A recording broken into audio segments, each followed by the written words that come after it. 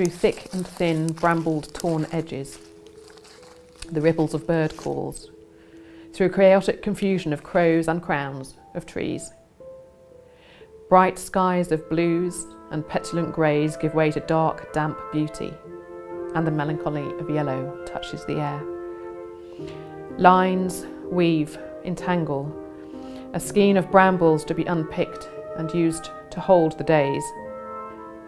Silky duck egg blues and greens, coral crisp teals, the traceries of silver cobweb upon the deepest vermilions and sage greens, offerings to the gods of blood red, tumbles of Celtic copper, chocolate penny gold, white void on black water, rubbed, scratched, balanced, floating.